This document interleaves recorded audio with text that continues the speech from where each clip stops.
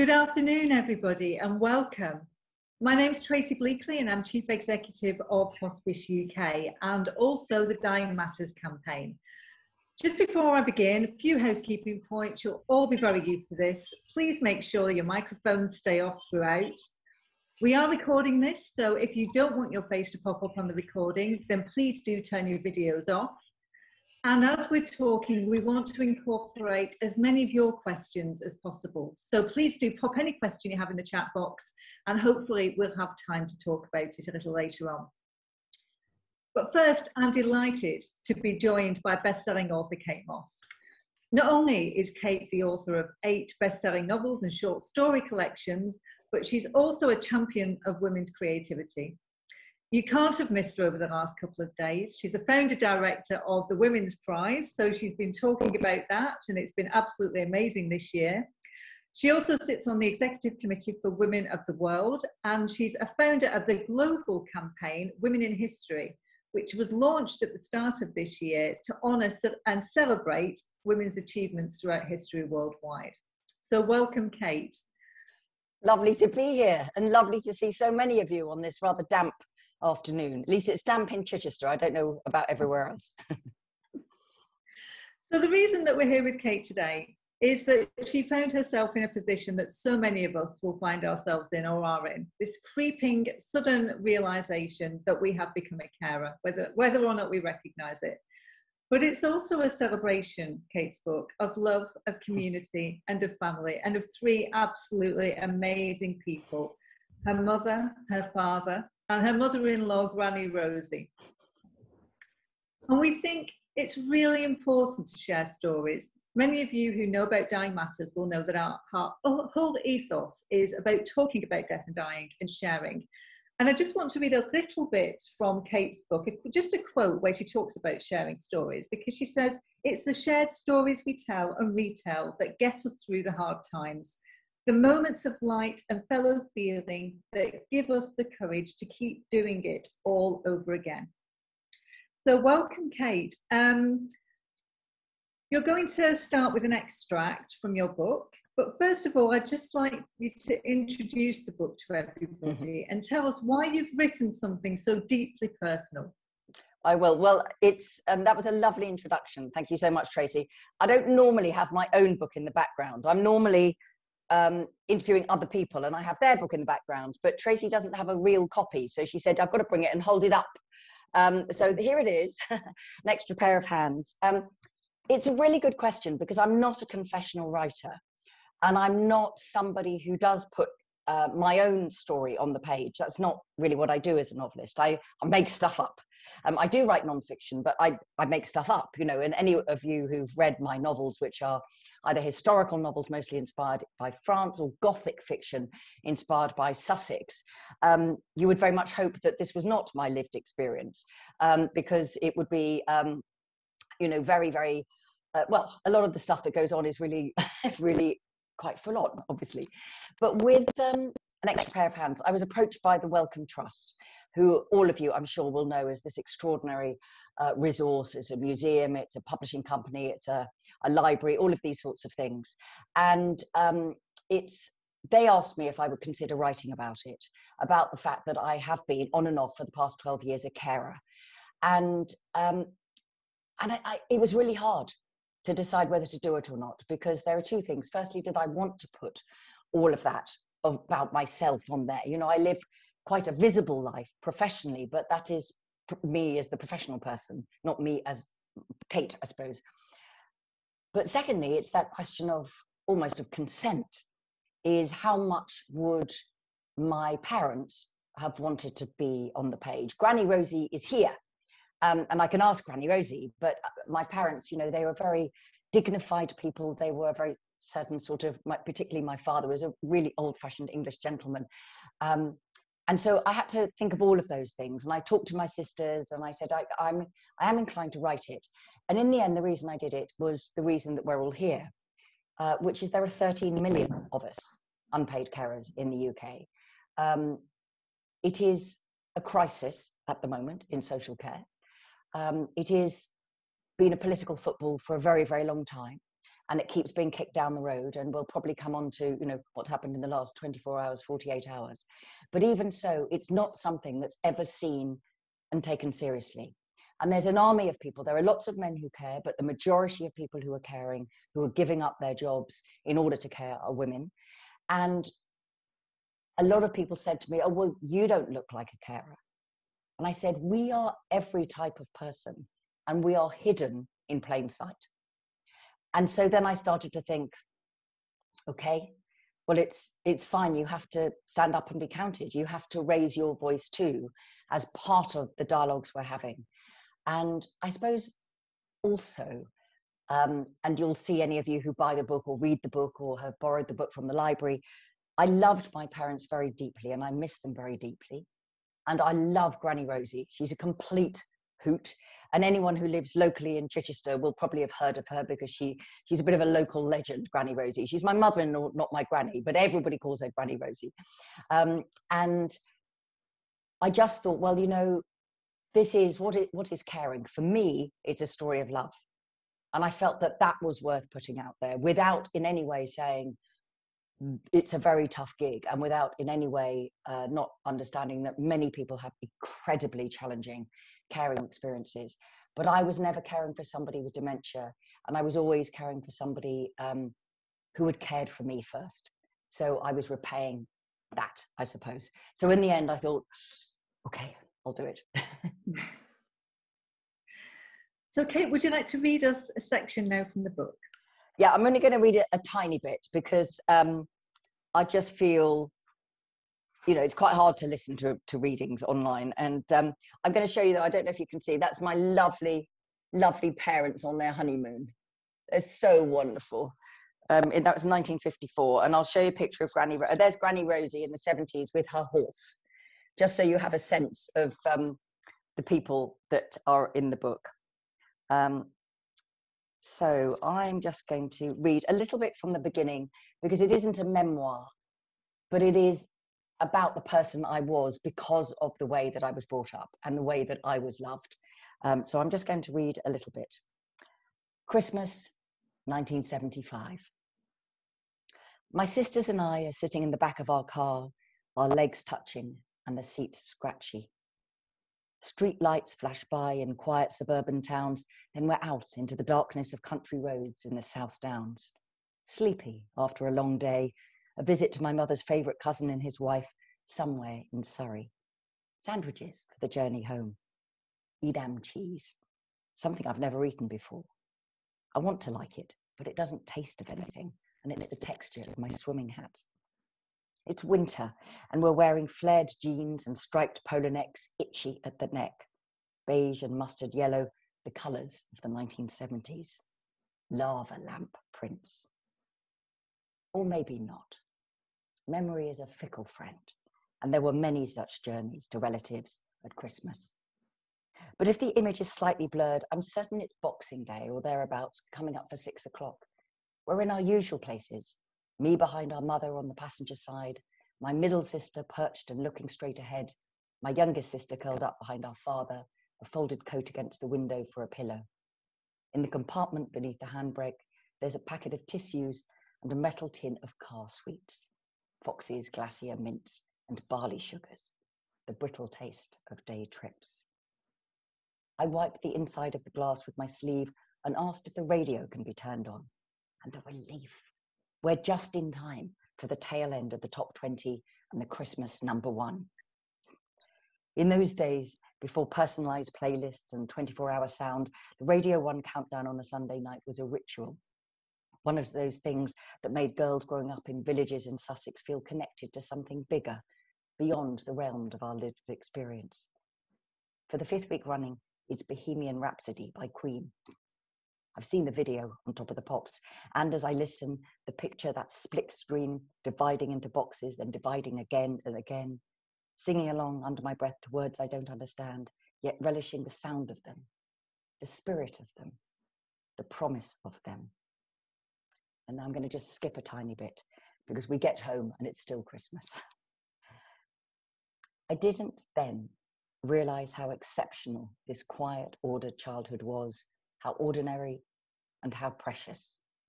knowing that I was loved. And because of those very many years of being loved unconditionally and supported unconditionally, that what was required some 35 years later would be both possible and a privilege. There you go. So, what did happen all those years later? Can you walk us through how you became such a, a large extended family under one roof? Well, Granny Rosie. it starts with Granny Rosie. We, um, I'm a, a Cicestrian, as we call it from Chichester. You know, someone who's chai, as we say, born and bred. Um, and my husband, Greg, and I met at school when we were 15.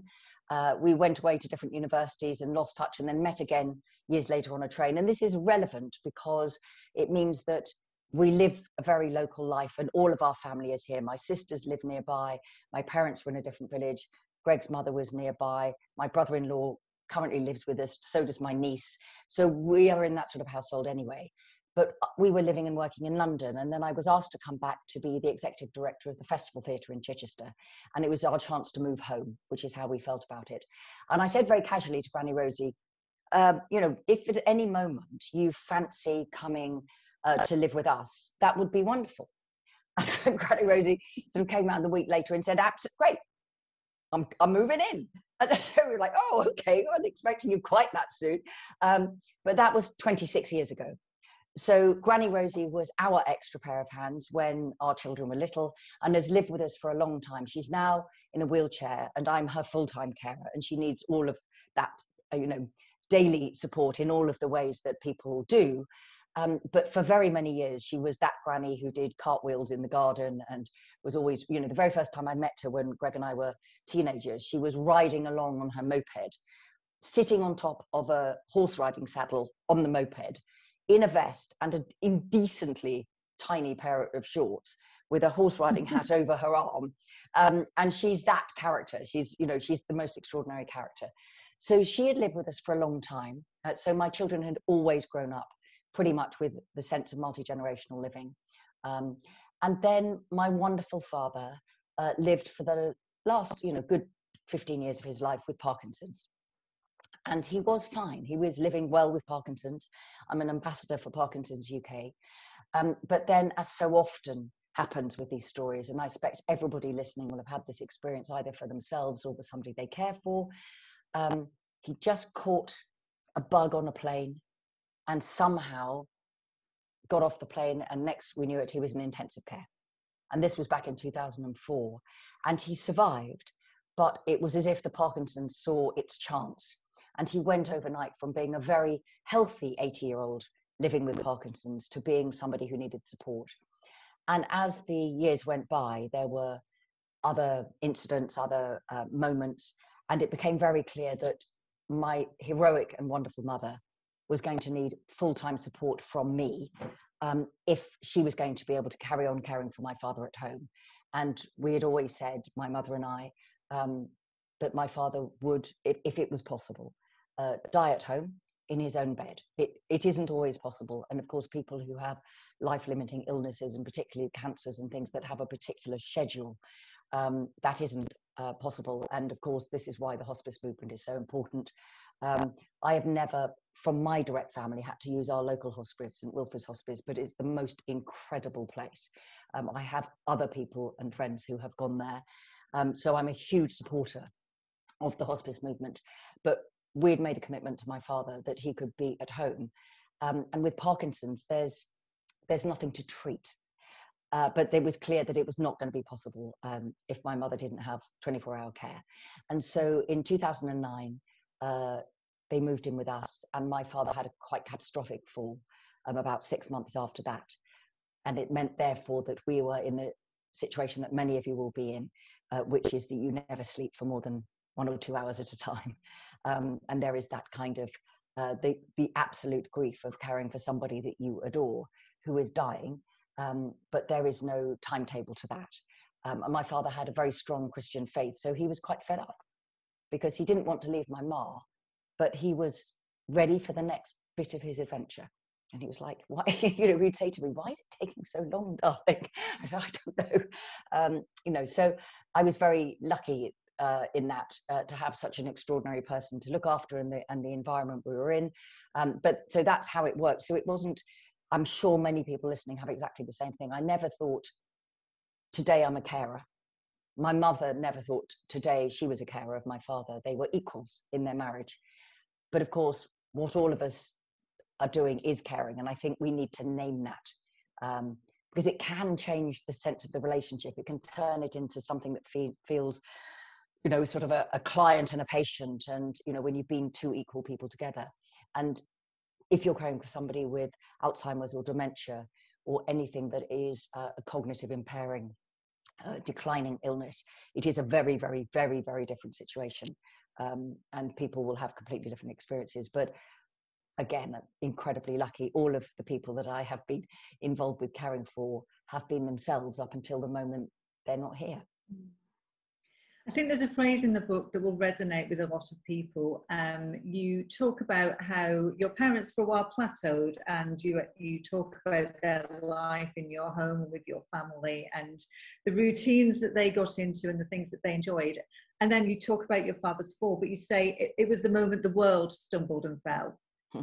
And I think people will recognize that that often there is an event, whether it's an illness, whether it's a fall, a sudden loss of physical confidence, but also of mental confidence as well. And, and it really shakes the person up, and your relationship with them as a carer changes overnight.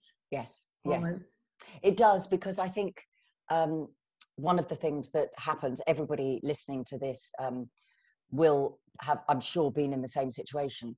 That it's not. It's often not the physical consequences of a fall or an illness that are so challenging.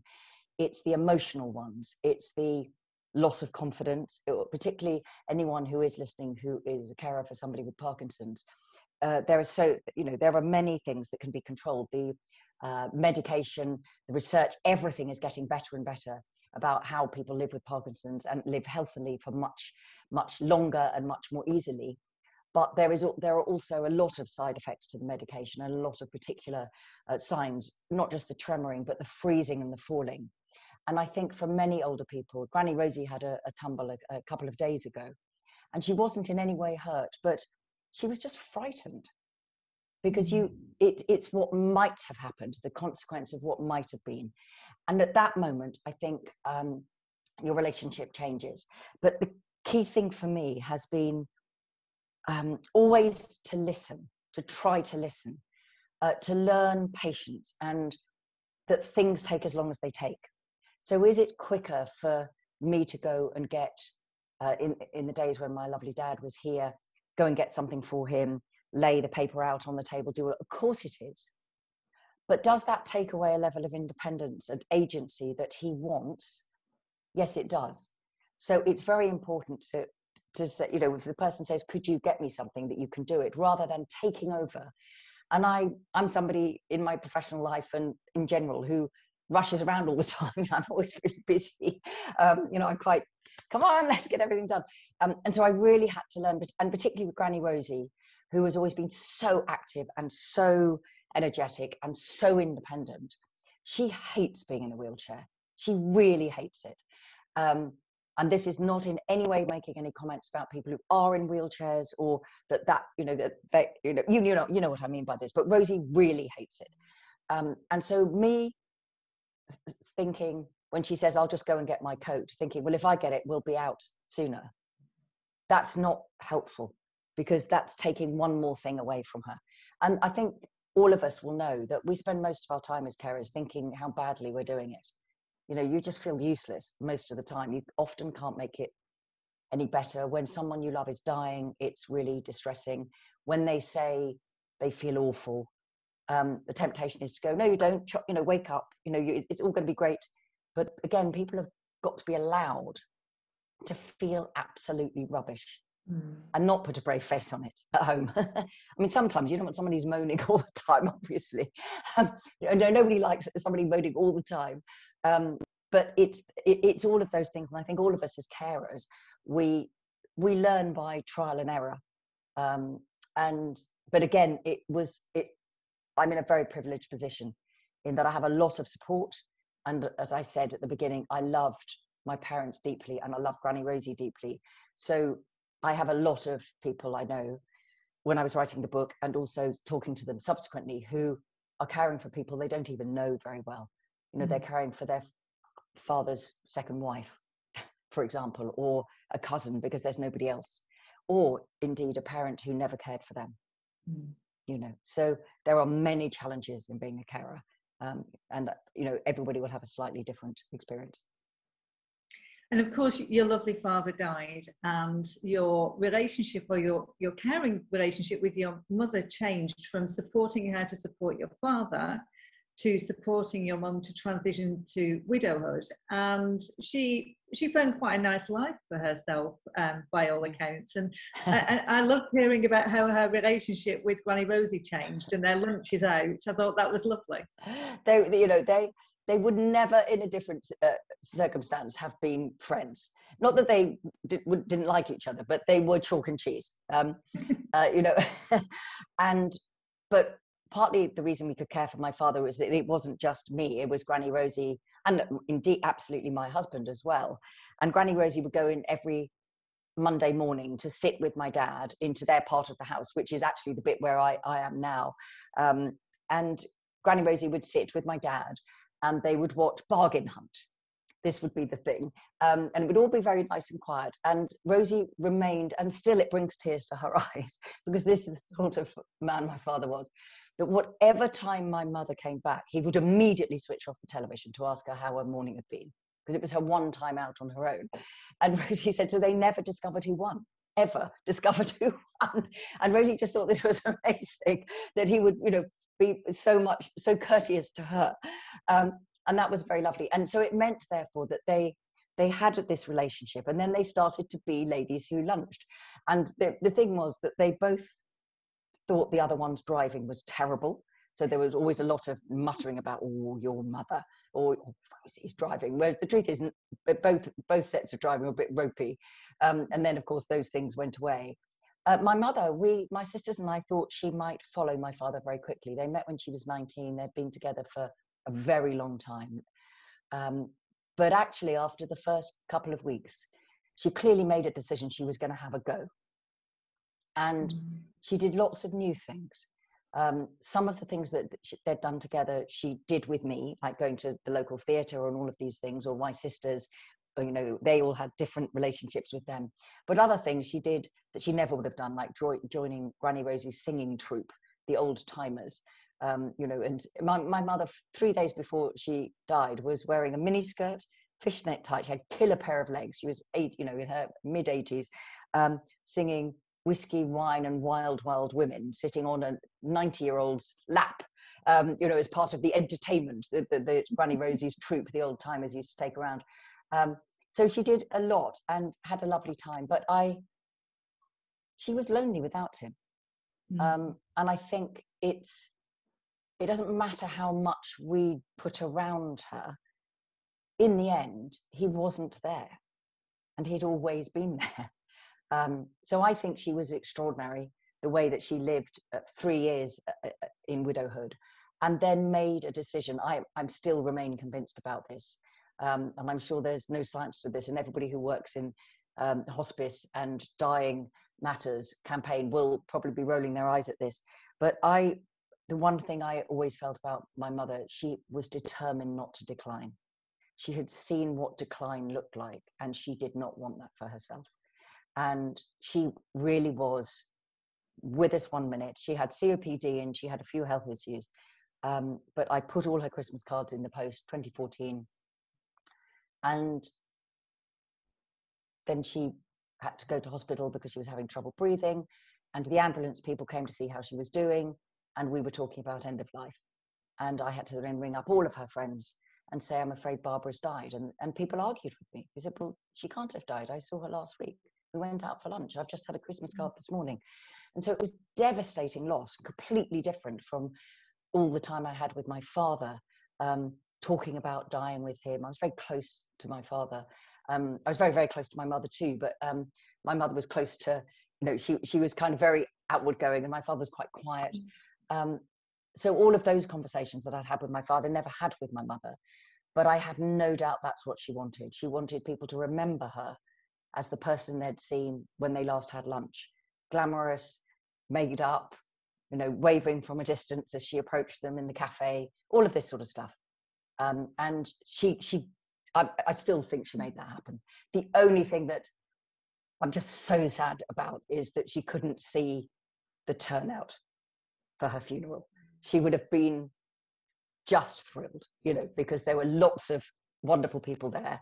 And I told the vicar, and my sisters told the vicar certain anecdotes. And my publisher, actually, my editor, um, said, "Well, if any, I know anything about your mum, by now she'll be rearranging the chairs in heaven." and when the vicar said that, he kind of put that out there. The whole congregation, you know, they were standing room only, um, and that I thought was a wonderful thing. Um, but I feel that she she got the death that she wanted. And of course, this is what we're partly here to talk about about how a good death is part of a good life, and that having the courage to talk about dying, it is going to happen to us all, to all of us. You know, beggar man, pauper, king, you know, all, all of those cliches.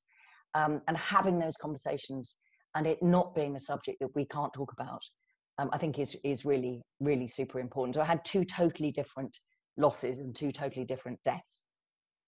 Can we just talk about you for a second? Because I know to a certain extent your mum's death came out of the blue, but you talk about for the preceding weeks that you had started to burn out. Yeah, uh, It's very tough. your life was not as enjoyable. You talk about the, the sensation of drowning but not waving. Did you do you think on some level you knew something was going to happen? Because I know your mum's death hit you particularly hard it really did hit me hard. I mean, mu- oddly, much harder than my father's death. Not because obviously I wasn't devastated to lose him, uh, but his his body was a burden to him. Um, he genuinely felt he was about to see his mother, who he loved very, very much. Um, the men who had died, fought beside him in the war and died. Um, his brother, his father. Um, he, he he had no lack. His faith was was secure and had been for the whole of his life. And so we had wonderful conversations. So although it was a terrible loss when it finally happened, uh, there were I've always hated the euphemisms, you know, passing on and all of these things. But for my dad, it was a passing on. You know, he and his body had become so burdensome to him. Um, he he wanted a release from it. He he didn't want, as I said, to leave my mother, but he wanted a release from his body, and he wanted to get on with the next bit. Whereas with my ma, I think you're, it's very interesting you say that, Tracey. I think that mm. she did have chronic COPD. Every winter, we were in and out of the hospital. Uh, you know, her, her lungs finally had, had enough. She had smoked embassy since the age of 14. she was extremely glamorous and wonderful um, and brilliant. And she always pretended she didn't really smoke. She didn't really smoke much of the cigarette. She would, you know, burn the cigarette. But, you know, she that that was it. And in the end, they clearly just had enough. But um, I, I could see her getting frailer. I could see her, you know, I'm, I'm not very big, but I, I realized suddenly my mum was really getting very, very small and she wasn't really eating as much and all of those kind of telltale signs. And so whether that was her health or actually just, you know, I've given it a go and I've just, you know, I, I will never quite be sure whether it, it, it, it you know, she loved her life. Mm. But I do think over that autumn, or maybe just the last four weeks, she was, um, you know, she, she certainly was m- much more frail than I'd ever seen her. And my sisters felt the same. Um, so it was a shock, but maybe in some conscious level we knew. And what was going on with you at that time? How was that affecting your life? What were the changes like? Well, I was supposed to, as usual, supposed to be writing a novel, and as usual, it was late or about to be late. Um, but I, I was, yeah, I was away the week before my mother died in South Africa researching, and my heart wasn't in it. I love research. You know, it's the be- not the best part of it. The best part of it when the book comes out and you start to meet readers, and that's wonderful. Um, but I, I just didn't have quite the level of energy that I normally have and um, I just was a bit. I didn't write for six months after my ma died. It it took that away from me. I I was so bereft, um, and I still find it, it, it was very extraordinary. The book I was writing, of course, when she died, I was researching, I didn't really want anything to do with it. I just, uh, you know, because mm. I associated it with her, her dying. Um, so that, you know, that autumn, there was a great deal going on. I was extremely busy, but I didn't have my normal levels of, you know, adrenaline fueled enthusiasm. Um, but I think this is a very important thing to say. I am incredibly lucky because I'm a writer where I'm talking to you now, this is this is my office. Now, it is the most compatible job with being a carer that you could have. Now, many, many women have to give up work to be a carer. And that brings up all sorts of things about resources and about money and support and a community and ha- you having an outside life. I, I didn't have, I've never had to give up anything in order to be a carer. And I am, that is a very, very unusual thing. My husband's also a writer. Um, and so it meant that it wasn't that I was struggling in the way that a lot of people are. I have a lot of friends who are carers who are having those terrible things that they're in a meeting and the phone goes and they know that they're going to have to go now. And a lot of people live like that, and you know the, the alarm goes off and all of these things. But I sit right here, um, and Granny Rosie is next door. And if something were to happen, which it's not going to, um, but if it did, then I'd be going just two minutes, guys, and then possibly coming back saying, um, we've got to finish this call, but I'm here. So I think that I did keep working. And I, I don't now know whether it's so easy. You know, I'm a novelist. Of course, I look back and think that I always kind of knew that my ma was, we were somehow in a different stage. But that, if I was writing it as a novel, we would but it, you know, real life isn't quite as neat, actually, not as emotionally neat, and it's not as practically neat. I get a sense that you were a bit cross with how we perceive bereavement after your mum died. That there's this whole thing about once you've done it once, it will be easier. And mm. certainly, I think lots of people had said that over the years, and great novelists and everything else. And because you had coped with your father's death, and survived and then thrived. Were you surprised to be so floored by your grief when your mum died? Yeah, I absolutely was. I was really knocked out by it. Um, I, you know, I say in the book, um, it, you know, one of the reasons you asked me right at the beginning while I wrote the why I wrote the book, I just realized that so many people had these experiences and wanted to share them.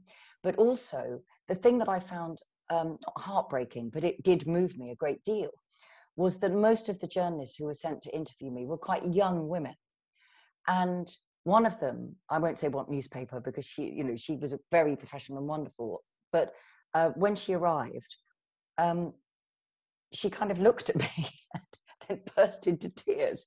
Um, and that was, it was like, oh, um, and it turned out, you know, she was 28 and the day before her grandfather had been diagnosed with Parkinson's, and her mother, who had cared for, no, her, her father had been diagnosed with Parkinson's, and her mother had only a year ago stopped caring for her grandfather, who had di- been diagnosed and died with Parkinson's. And she was a young woman, and she didn't know where to turn. And part of the reason for writing the book was that people could give it to the people who worry about carers. And there's a lot of younger people who worry about their mothers mostly and also their fathers being carers, that they mm. worry that it's burning them out. So, um, but on the question of grief, yes, I was absolutely, I, I thought I, I thought I was really good at grief. You know, because I'd been prepared with my dad. We talked about dying a lot. Um, we'd had wonderful conversations.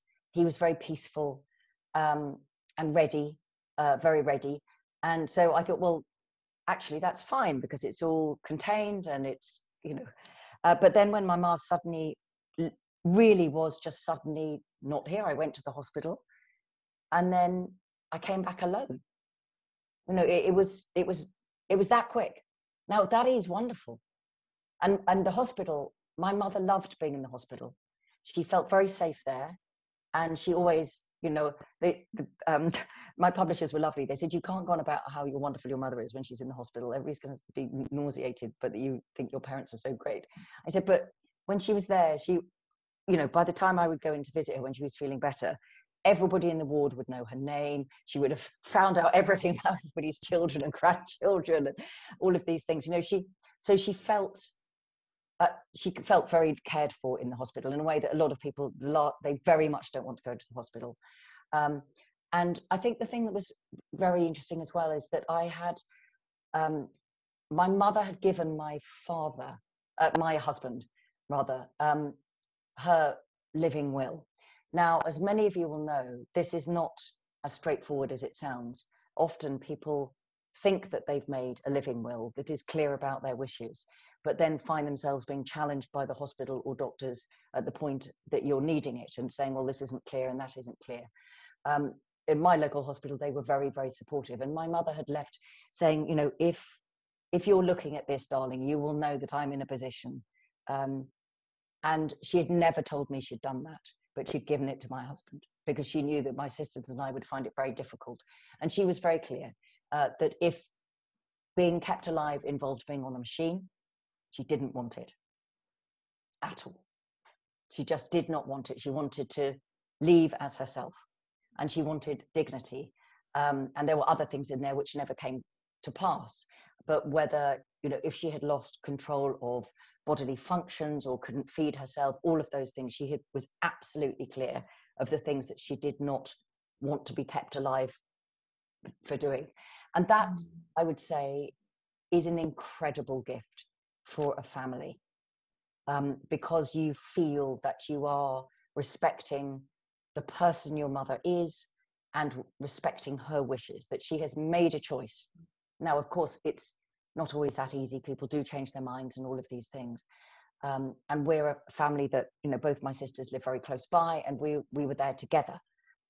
But the, often in families, as many people will know, there are siblings who don't get on, or one who always takes over, or one who always pays, and the other one who never bothers to come, and all of these things. And so sometimes at that moment, if people if there isn't any guidance, it can become awful when siblings don't agree. Mm-hmm. Um, you know, so that's one of the things that I've become more um, thoughtful about uh, from my own experiences of really ha- realizing how important it is, if possible, to have those conversations with loved ones so that you do know whether you are fulfilling, you know what they want. Mm. You know, and what I've learned is doing a lot of publicity for this book and talking to people like Dr. Lucy Pollock, who's written a, a wonderful book, uh, which is I, I, always get the title wrong, but it's something like a book about aging for people who don't want to talk, a book about dying for people who don't want to talk mm. about it. Um, and she's a geriatric specialist, and she says, you know, some older people are desperate to talk about what they would like, but their children just won't let them. Mm. You know, when they say, you know, I'd like to talk about what I'd like to happen when I die, um, they go, oh, don't be morbid, mum. But you know, it. It, it, those sorts of things. And my own experience made me realize how very important that was to have a sense of where the line is in the sand. You know, some people will say, whatever could be done to just keep me alive, do it. But I think mm. most people want to live as themselves and die as themselves if they can. I think that chimes with a question from Michael Brennan from the audience, and he's asking Did you have an educational intent with this book? So, were you trying to share your life lessons to improve end of life care and the way that we talk about caring or or was it a sense of honoring those three lovely people in your life? Well it it absolutely is a sense of honoring um uh, you know it, it's a story of love mine. Um to you know it, the book is a tribute to three incredible people. And actually you know i it made me realize i've spent a lot of time with older people um, I'm really, really lucky. And I asked my children, because of course lots of people asked what my children thought about it. And we never even really thought about it. And my children said, well, we've always, because we grew up with grannies and granddads around all the time, we've always just done that thing, which is what my parents did, which is it's what you're like that matters. It's utterly irrelevant how old you are. You know, I spend a lot of time, you know, Granny Rosie's friend Patrick comes up every Monday morning and they have a cup of coffee they used to be in a singing troupe together. And quite often I will be listening to them going through the lonely goat herd, you know, yodeling in the kitchen. And Patrick is is uh, registered blind, and he comes up on, on his own on the bus, and they sit in the kitchen. Granny Rosie's nearly 91 in the wheelchair. I make them a cup of tea, but then leave them to it. So for me, and I think for, and for my children, I was really thrilled to hear this. It was that sense of why do we think that older people are less important. I mean, if somebody's, you know, what about all the things that older people have done for all of us? This is why, you know, I, I get very infuriated when the only time age is presented on the screen on television, it's as a problem. Well, what about, oh my God, the NHS is amazing. People are now routinely living longer and living healthier, healthier, better lives for longer. Doesn't matter whether you're 90 or 19. Are you fun? Are you interesting? Have you, you know, got stuff to say? Are you happy? Um, you know, lots of people have challenges, and there's no doubt the biggest challenge of aging is, you know, as Granny Rosie always puts it, you know, she said, she always says, you know, I'm a doddering old fart, everything's falling to pieces. Um, but you know, that's true of me too. You know, I mean, you know, obviously I'm not 90 yet, and I fully hope that I live that long. But obviously it makes a difference as your health declines and it's very hard for people as worlds shrink often if health declines. Um, but i i didn't write it to be educational as such. It was more that i wanted people to think about old age as a positive thing not a negative one. You know always with exceptions but as routinely let's go this is great that we have an older population not this is a problem. And i did also want to very much say we need to talk about caring. We need to talk about who's doing it and how it's paid for.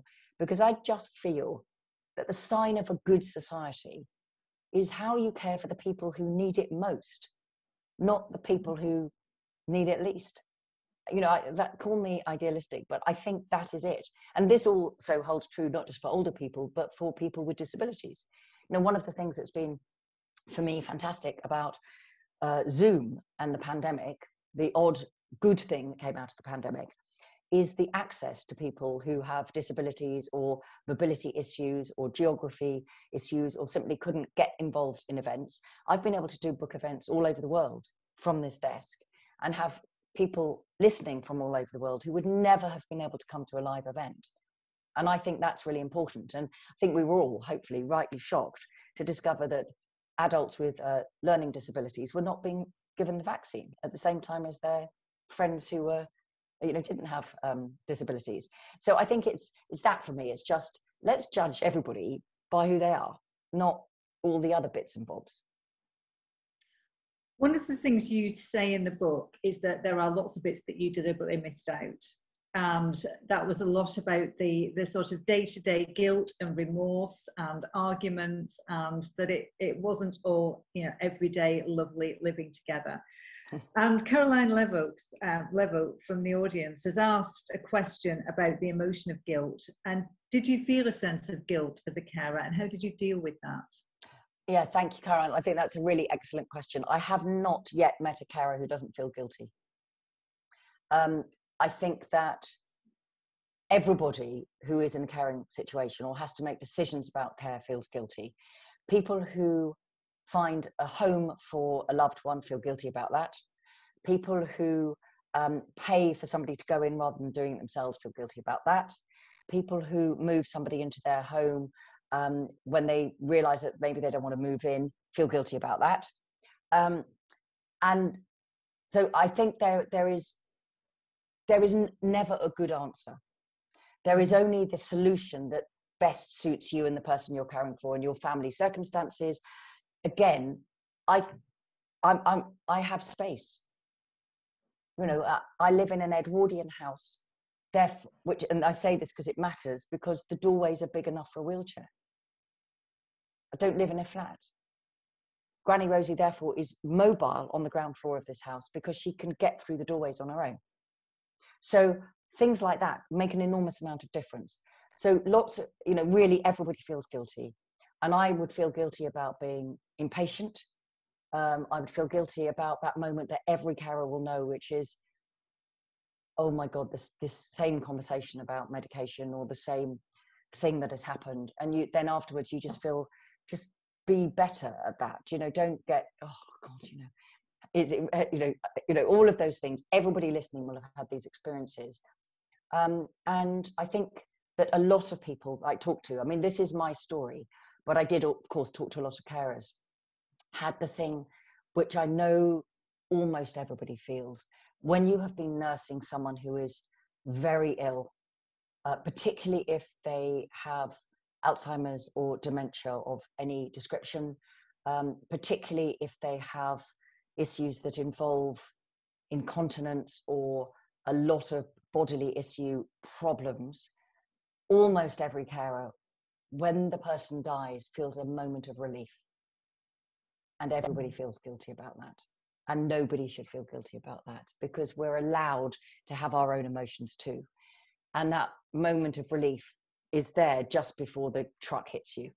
But it's also okay to be relieved for somebody if they are released from their suffering, because that is often what most many of us are doing. We are spending time with somebody who is suffering a great deal. Um, and of course, we want to put that right. So I think guilt is a really unhelpful emotion. Um, and I try, whenever I knew that I was feeling that, I would try and make it something else, you know, try and turn it away from that. Think, well, okay, do something don't sit there thinking, God, I feel so guilty about this. Um, and of course, you can imagine for my sisters, we had to have really big conversations because they felt guilty that I was doing it, but I wasn't doing it all. They were coming and going. It's just that we had the space. Um, so I think a lot isn't talked about, you know, guilt between siblings. I think a lot of people feel guilty that they can see one daughter usually or daughter-in-law doing all the work and the other people are not doing because they don't live nearby um, but my advice, Caroline, is I mean, I don't know what your situation is, of course, but guilt doesn't ever make anything better. It never makes anything better. So trying to turn it into something else, um, a conversation that needs to be had, or doing something is is usually the best way to get rid of it, if if at all possible.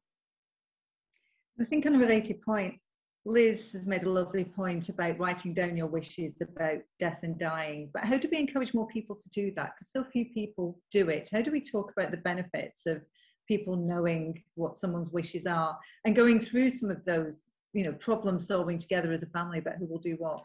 Well, you're doing it, Tracey. That's what you're doing. It's incredibly important. People didn't used to have these conversations because you know, we all feel we're living in the end times at the moment, you know, in a very ugly world with a lot of horrible things happening, uh, lack of empathy, lack of tolerance. Uh, you know, my father would say lack of Christian values, um, which for him were about gentleness and turning the other cheek and reaching out, not, not you know, the opposite. Um, and I think, but the other side was that people's life expectancies have grown and grown and grown and grown. So people do need to have conversations in the way that they didn't have to do it so much in the past, because actually people died a lot younger. Never quite got there, if you like, um, in that same thing. And also, you know, we forget quite a lot of people have, um, you know, an awful lot of people died in accidents, you know, particularly rural accidents or factory accidents, all of these things. So we are in an extraordinary situation that the consequence of the NHS and the fact that people with disabilities, people with life limiting illnesses should and are living completely within society, uh, you know, and living their lives in the same way that anybody's living a life. It does come with the consequence at the other end that we might find ourselves making decisions for other people in the way that we might never have done before. So I think your campaign Dying Matters is really, really important. And we just all need to be better at stopping the daftness about, oh, it's morbid to talk about dying. Um, because it's common sense because it's going I, I have said it several times already but it's going to happen to everybody you know it really is going to have to happen to everybody so i think you know dr lucy pollock um, her book you know that i mentioned before and i wish i had it to hand because i would no i haven't got it to hand but um, it is a really wonderful book. I know I'm supposed to be promoting my own book, but I really recommend this book um, because she has lived her life in geriatric uh, care. And so she goes through in lots of ways about how you start those conversations. That, but her biggest point is always that uh, mostly older people want to talk about these things. Not everybody, mm. but mostly older people want to talk about these things. And often it's their children that shut the conversation down. And, you know, particularly with uh, you know, a very complicated area, which is assisted dying, uh, which obviously is not, uh, you know, something that um, I've had any any involvement or uh, even discussion about in any way whatsoever. But I've just read a book by the novelist Amy, Amy Bloom, um, and it comes out next year, and it's about her husband.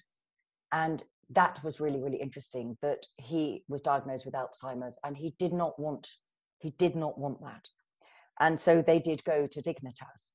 And one of the things i found most interesting in the book was one about how hard it was to be accepted for that which i, mm. I actually found really reassuring. Um, but more significantly how his children wouldn't wouldn't discuss anything with him. Mm they they thought it was terrible and they they said oh you it's miles away. You don't need to think about any of this sort of stuff. Um, and that was the the message i got from lucy dr pollock's book which was allow people to speak for themselves don't speak for them you know mm. we do this all the time with older people with people with disabilities with people of color whatever you know often we all speak for other people when they don't want us to speak for them you know so learn to zip it and listen but also encourage the conversation. And I think the more we do events like this, the more books that are out there, the easier it is for families to start to have those conversations, but be guided by the person. I think that that's the the number one piece of advice. And a lot of this goes down to something you've talked about today and in the book about the invisibility of old age. So I wonder, can you tell us a little bit about Granny Rosie and what her life is like at the moment? Because she sounds like an incredible character, and hasn't she become a bit of a minor celebrity since this? She has well? absolutely become a celebrity. um, she she is absolutely wonderful, and she she became a celebrity when it was um, the clap for carers. Um, when it was at the beginning, it felt like a wonderful thing, as opposed to something that became a little bit um, hijacked. But you know, we know all know by whom and how. Um, but with Granny Rosie, she she's brilliant on the electric piano. Uh, so she decided, as you saw all over the country, um, that once the clap for carers, for many people, it was their one moment of connection in the week. Um, again, particularly for older people, round here we live in an area where a lot of people have lived for a very long time, and many people are widowed and are on their own. They do have families, but you had to make the choice, you know, where, where you were going to be. So when people came out, they didn't want to just go back inside. You know, they they kind of were now outside. So Granny Rosie decided one day she'd bring her electric piano out. Um, and she uh, started to play afterwards. We clapped for carers, and then Granny Rosie started to play the tune she used to play um, in the the old timers, her entertainment group, and they were the old time music hall songs, you know, "Bye Bye Blackbird" and "Wish Me Luck" as you wave me goodbye, and all of these songs. And my daughter, of course, um, thought about that, and she just filmed it and put it on social media. And the next thing I knew, I was being run up by the BBC and ITV and wanting to feature Granny on television. And so, of course, they said if it's not too much for her. Whereas Granny Rosie was like everything. She did absolutely everything. And the highlight was when the book came out, was going on this morning on the BBC One and being interviewed by the lo- lovely presenters. But Granny loves repair shop. I mean, it's her favorite thing. And they got Will from Repair Shop to come on and say, Hello, Granny Rosie. it's really lovely. Uh, I've heard all about you. And when it, we finished the clip, she went, "Oh, isn't he dishy?" I said, no, it's, the, it's the number one question asked: Is Will married um, on the internet? Um, so she she just loved it all and has revelled in it all. And everything in the book about Granny Rosie, I shared with her and asked her to read it and said, "Anything you don't want in the book," and she was, "Oh, anything." Everything you want to put in the book. And there, so I made decisions to not put things in the book that I felt were too private. But she didn't feel this at all. Um, but it's that that's been a wonderful thing. And I think, you know, she won um, at the Best of Sussex Awards a couple of years ago, the Local Hero Award. She uh, used to work at the school for uh, young people with severe mental and physical disabilities. Um, she knits for the Snowdrop Trust and um, uh, uh, for Chestnut Tree House, which is the children's hospice. Uh, she's raised over the pandemic more than a fifteen hundred pounds, I think it is now, for ch- children with life-limiting illnesses by knitting her little tiny knitted figures. Um, you know, she knits you know somebody on a donkey or Father Christmas or choir girl or choir boy. Um, and what we need is more people there are there are many granny rosies people doing amazing things. But often the media only wants the gloom and doom stories. Are there gloom and doom stories? Yes. Are there amazing people just living their lives? Yes. So let's have more of everybody rather than just a tiny tiny story which is being told. And granny rosie she's quite disappointed it's all over now Um, you know, she's like, mm, you know, are we going to do any more? And it comes out in paperback. I said, I don't know. We did pretty much everything there is to do, Rosie. I'm sure there's a single program we haven't been on. Um, but that for me was a joy because she, I was lovely that she loved it so much. And everybody thought she was fantastic because she is and deserves that level of accolade, I think. Well, maybe we'll do one of these events with Granny Rosie and hear what she's got to say. I'm Absolutely. Sure be very interesting. She'd be thrilled. Yeah. We're in the last couple of minutes, but Dr. Max Watson's been asking a really important question, I think, and a good one to finish with, which is how do we support carers? And you do talk in the book about how friends can melt away, how isolating it can be sometimes to be a carer. How do you think we can best support carers?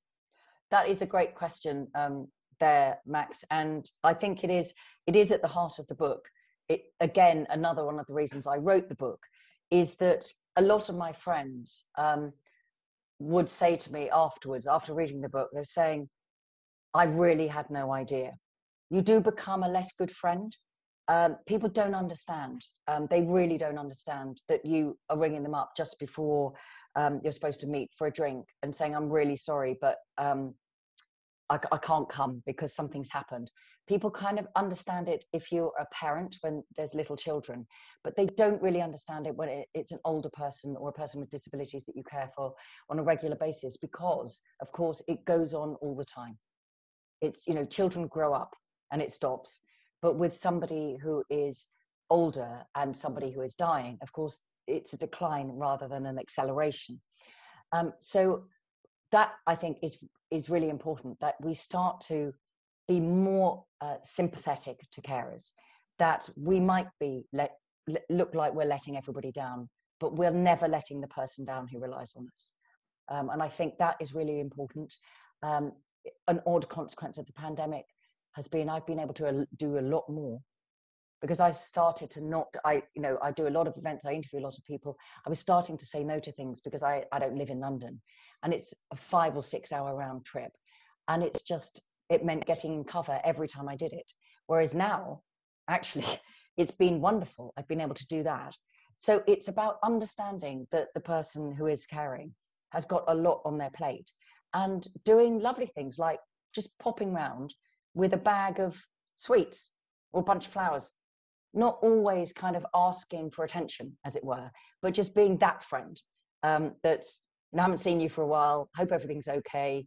Um, saying, you know, if you you're going out for a meal with somebody and it can't happen, saying, well, shall I come round to you and we'll have a cup of tea and you know, not being scared of illness and not being scared of of people who are declining. Um, I think a lot of people, are not like all of us who do it, but a lot of people are terrified of physical imperfection. They're terrified of illness. They're terrified of older people. Actually, sometimes, even if they're completely fit and healthy and you know living their best life, sort of thing. And we just need to see more people out and about. The media needs to be better at seeing, at representing all of us. Um, and then I think people are less scared. I think people are often quite, they don't, they're embarrassed. They don't know what to say, don't know how to behave. They don't know how to talk. And my father, you know, I'll leave with one. Um, my father was very clever about doing this. And I think we as carers can do this as well as people who are cared for. Uh, we were in our local pub when it was getting quite close to the time when my father didn't want to go out in public anymore and he was going to have a glass of red wine and he asked the bar staff to put it in two tumblers for him.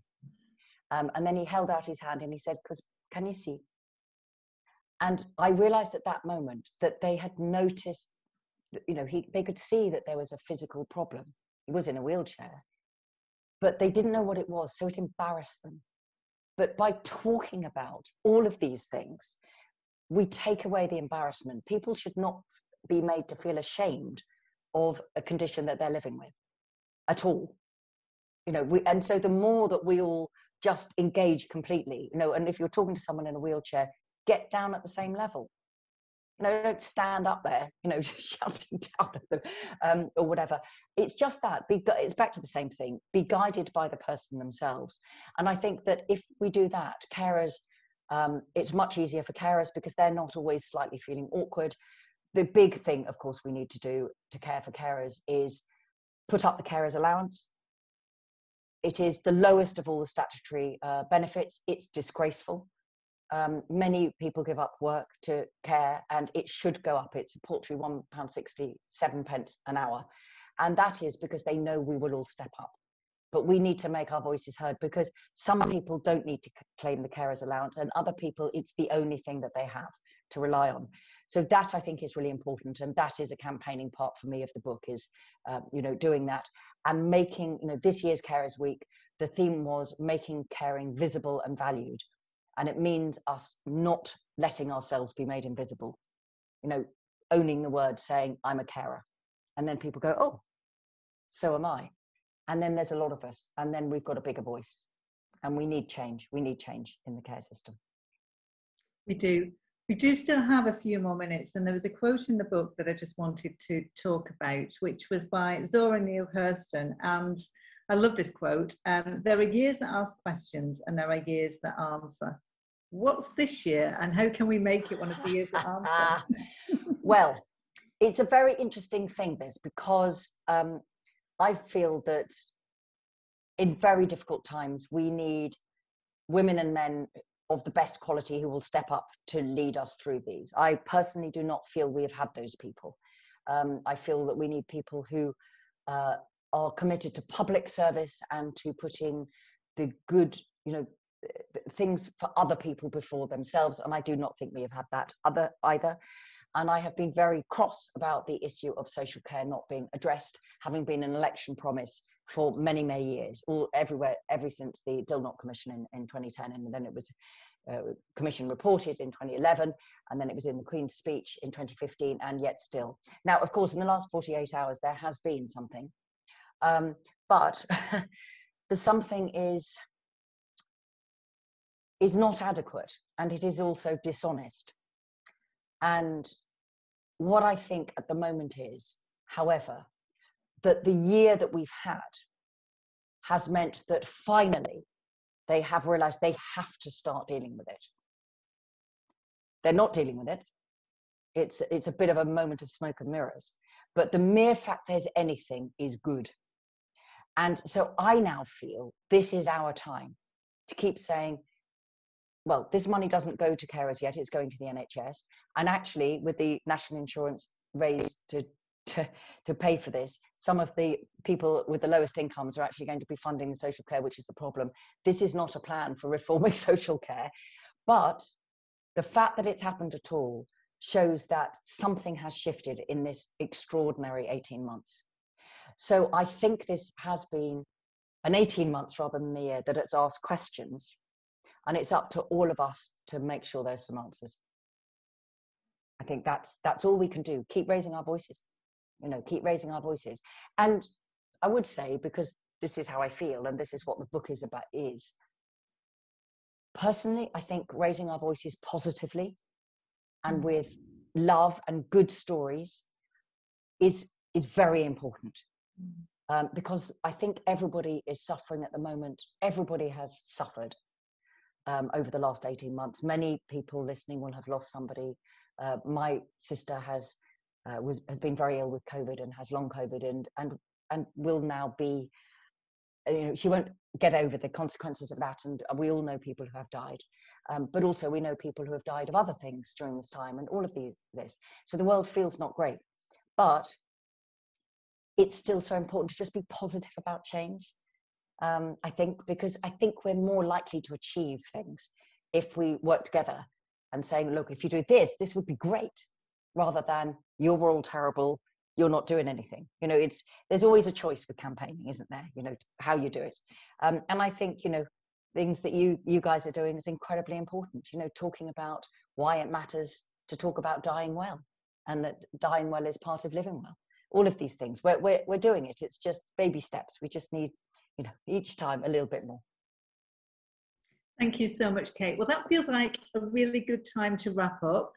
To ask everybody for their next steps, which should be to go out to your local independent bookstore um, and please buy Kate's book. Do you want to hold it up again, Kate? Always, always. An extra pair of hands. Um, I also have the Kindle copy, which is very helpful, and the Audible, um, the audio book is fantastic, and it's Kate reading her book herself. And you've all heard today how wonderfully she does that. So I can't recommend it enough. Also, please do get in touch with Dying Matters and, sh- and, share your stories. That is what's going to make such a difference. The more that we talk about death and dying, the more that we talk about caring, we can help more people and we can bring about change in everything we've talked about today. So, a huge thank you to everybody who's turned up to listen to us. Um, thank you to all of those people who are going to be listening on record afterwards. Um, and a massive thank you to you, Kate. I know you've had an incredibly busy couple of days. It's so kind of you to make time for us. And I think that we've all found this um, really useful, but also um, a little hour of self care as well. So thank you. Good. Well, it's been a pleasure, and thank you for your amazing questions. I've read lots of them in the um, in the chat box as well. And Tracey, thank you, and Charlie, and everyone at um, Hospice UK and Dying Matters. It's um, such an important thing you're doing, and it's been a great a great honour to to come today. Thank you very much. Thank you, everybody. Bye.